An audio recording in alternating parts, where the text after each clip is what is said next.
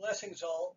My name is David Ewen, and I head up the Bravehearted Men's Ministry at the Resurrection Center with Pastors Jose and Melly Martinez.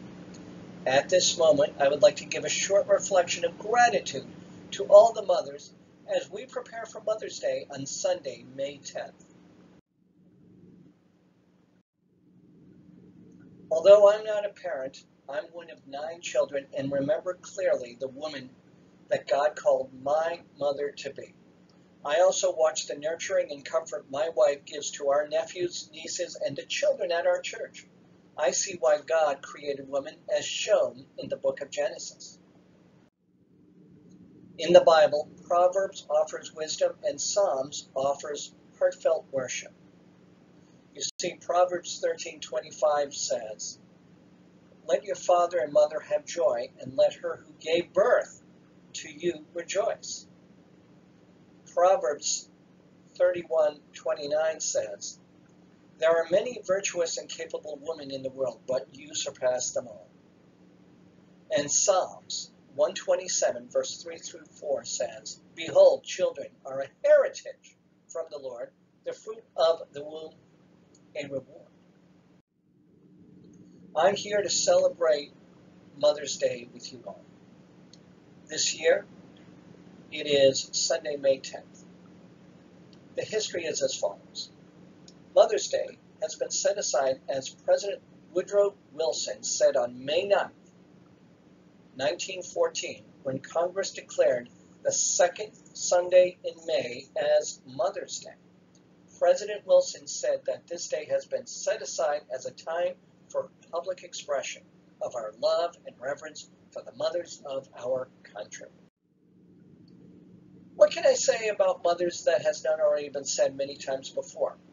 The answer is I doubt seriously there's anything I can say that would be new to you or would be something you have never heard before.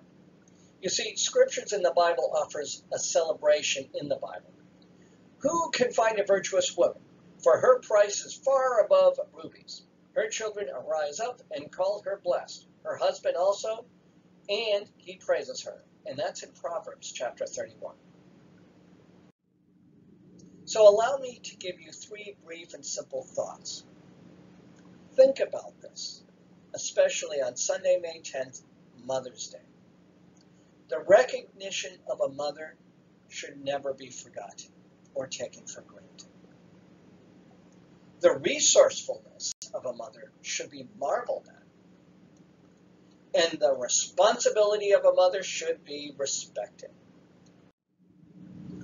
The Bible says, Give honor to whom honor is due. And this comes from the Ten Commandments, such as honor thy father and thy mother. I'm definitely not qualified to stand up here today and give a sermon on what it means to be a modern day mother. Believe me, I don't have a clue. I'm not a mother, and I've recently learned that I will never be. That's why I'm thankful that the Bible deals with the issue very well.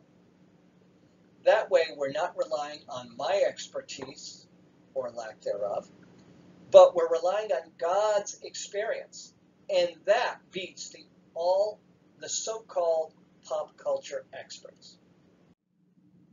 You see, mothers face so many challenges these days. I mean, you never knew practice would be such a dirty word.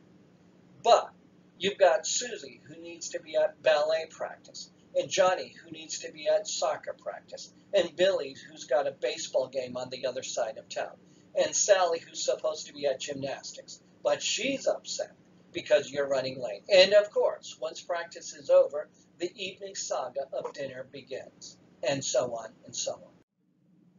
Mothers are expected to do it all. One of the funniest things to me is my mother's purse. When I was a little boy growing up, I was amazed at my mother's purse. You see, my mom's purse had everything in it. I mean, there was nothing I ever needed that couldn't be found in the almighty purse. Mom, do you have a band-aid? Sure, it's in my purse. Mom, do you have a sewing kit? Sure, it's in my purse. Mom, can I have a milkshake? Well, maybe not.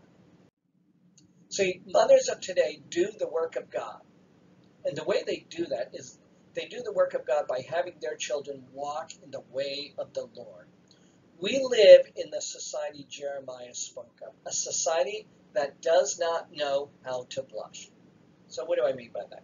So, with these things in mind, I think it is better for a mother to raise her kids than a village to raise them. We need godly mothers and fathers who will stand and say, I will teach my children to walk in the way of the Lord. We cannot let the important things in our children's lives be left up to chance or up to someone else's false teachings. We must stand up and be accountable as parents for our children's spiritual safety. In Proverbs 22:6, Proverbs 22:6, we are given some clear advice. Train out train a child in the way he should go, and when he is old, he will not turn from it. Let's talk about the best Mother's Day gifts. These are A words. Give her affirmation. Give her affection. Give her acknowledgement. Give her attention. Give her appreciation. Those are the best Mother's Day gifts. Do not buy her anything that plugs in. If something needs to be plugged in, she will only see it as a tool.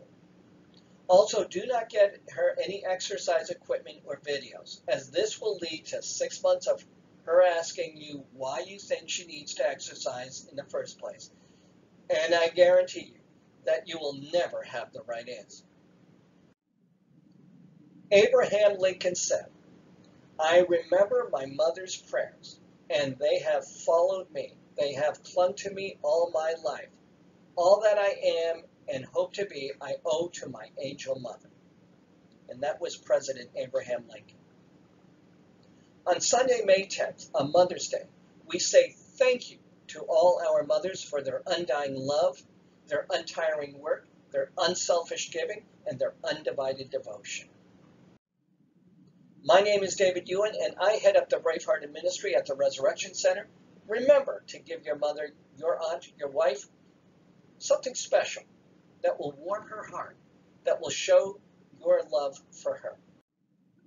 My name is David Ewen, and this is the Resurrection Center.